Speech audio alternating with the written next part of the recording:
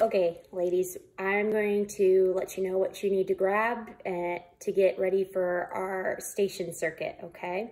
Uh, first and easiest thing you probably have is a couch and then a blank wall space, a small chair. Uh, if you don't have a small chair, just use a couple couch pillows to create that box-like piece of equipment.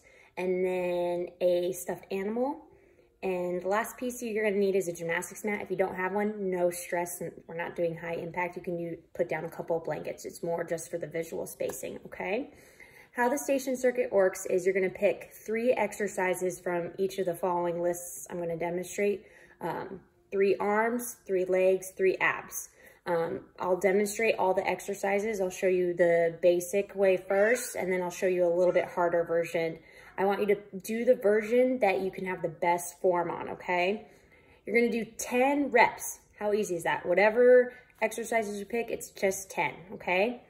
And then you're going to go 20 seconds of either running up and down your stairs or running up and down a hallway or jumping jacks. Just something to get your heart rate up for 20 seconds. So 10, 20.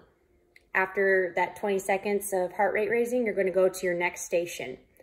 Nine stations equals one round. So you're gonna go arm, ab, leg, arm, ab, leg, arm, ab, leg, okay?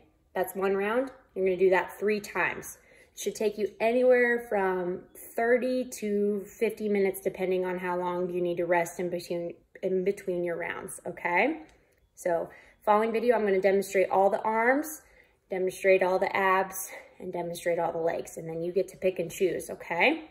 Good luck.